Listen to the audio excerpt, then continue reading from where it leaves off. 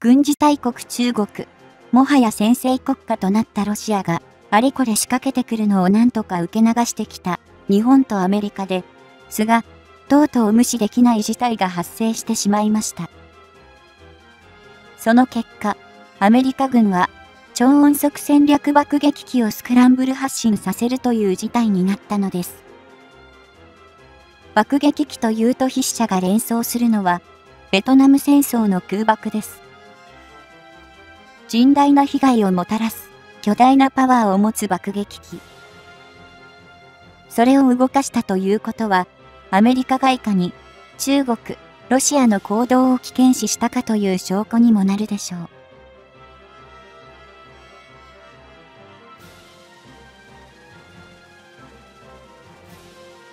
中国、ロシアという軍事大国2国が日本海や東シナ海を飛行したという情報が入ったのは2020年12月11日のことでした。合同パトロールという名目での行動と聞きますが、どこをパトロールしようというのでしょうね。世界情勢を見ると、新型コロナウイルスは収束しそうになってはぶり返し、収まりそうになっては新型株が登場しと収まる気配はありません。ついコロナにばかり注意を向けてしまうのですが、そんな中でも国民の健康より自国の勢力拡大に力を注ぐ国は存在しています。日本の政治家には国民の健康と生活を守りつつ、国土防衛にも気を配らなければならないという複雑な状況に対応するまされた判断力、調停力が必要とされているのかもしれません。さて、中国、ロシアそれぞれの爆撃機計6機が、日本海から東シナ海方面へ飛行しているという知らせを受けた防衛省は、空自がスクランブル発進を行ったと発表しました。防衛省によると飛来したのは、中国空軍の H6 爆撃機4機、ロシア空軍の Tu-95 ツポレフ爆撃機2機で、この中の H6 爆撃機2機と Tu-95 ツポレフ爆撃機2機が、五島列島沖合の上空で合流した上、尖閣諸島方面に飛行していったということです。言うまでもなく、五島列島は日本領です。この知らせに反応したのでしょう。翌12月23日、アメリカ空軍 B1B ランサー爆撃機がグアム島から発進し、台湾とフィリピンの沖合上空から南シナ海へと飛行しました。この B1B の飛行は、前日の中国、ロシア2国合同飛行への牽制と思われます。なんとも不快な合同飛行ですが、実は中国とロシアは前年2019年7月にも爆撃機の共同編隊飛行を行っています。当時も、2国は合同パトロールと発表していました。パトロールと言っていますが、五島列島も尖閣諸島も日本領です。中国領でも、ましてロシア領でもありません。自国領でもないのに、パトロールする理由があるんでしょうか？と問いただしたくなります。中国、ロシア2国の爆撃機飛来に関しては、韓国もスクランブル発進していました。東シナ海上の韓国防空識別圏に中国軍機が侵入したためという理由でしたが、中国との間で係争地になっている伊予島干渉付近だったので、事前に飛行予告は受けていたと言っています。ロシアは韓国が主張している防空識別権を認めてはいませんから、事前予告はしなかったそうです。ロシアの爆撃機は、韓国が自国領と主張している竹島沖を飛行しましたが、前年2019年には、韓国がロシア機に警告射撃を行ったことがありました。この時も空自戦闘機がスクランブル発進しました。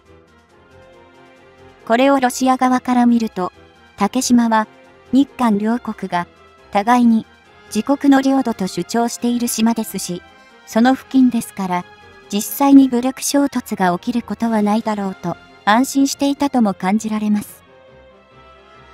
これは不謹慎なイフでしょうが、竹島の上空で、韓国軍機がロシア軍機を攻撃して撃墜したら、国際的には、一体、どんな扱いになるのでしょう？韓国領空で攻撃されたとなれば、領空侵犯したロシアが非難されますから、どうあっても、韓国領空ではない場所で攻撃されたと主張して、ロシアが韓国を厳しく非難することが予想されます。この論理でいくと、竹島は韓国の領土ではないとロシアがみなしているという意味になるのではないでしょうか。他国の領空侵犯という国際法上の問題から逃れるための主張かもしれませんが、結果的に竹島が韓国領ではない日本領とロシアが認めているということになりませんか？この論理は想定外の援軍といった感じがしますが、期待しすぎるのは危険ですよね。韓国対ロシアの場合、アメリカは同盟国韓国側に立ってロシアの責任を追及すると思われますが、そうなると日本との関係が問題になってきますね。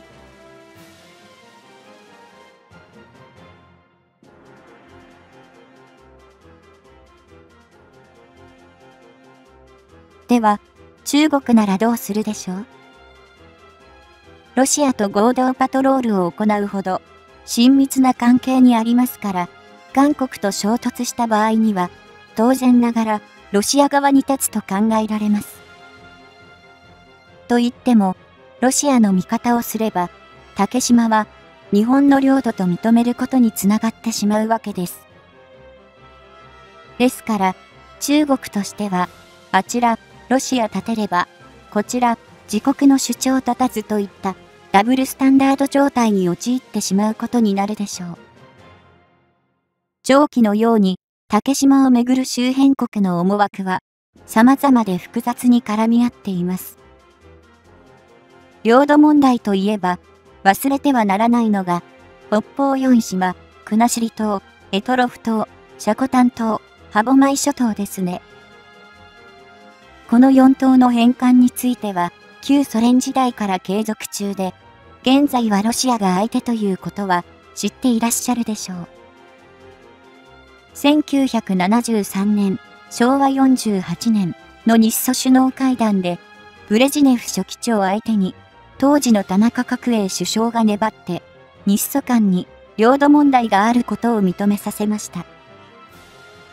この時に一気に解決してくれていたら、と思いますが、田中角栄一人に責任を負わせるのは酷ですよね。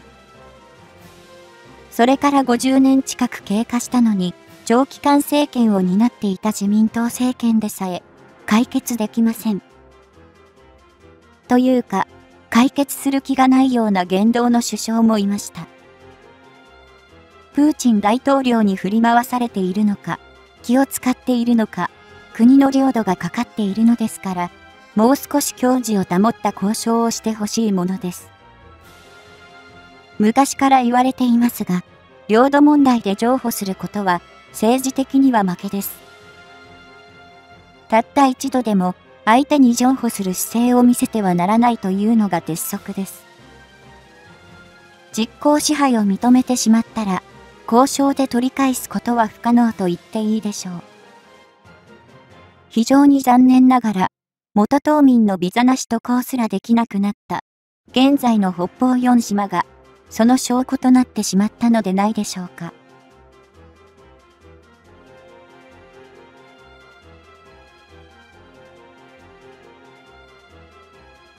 万が一にでも、尖閣諸島へ中国軍の上陸を許した場合、政治交渉で取り返すことは不可能でしょう。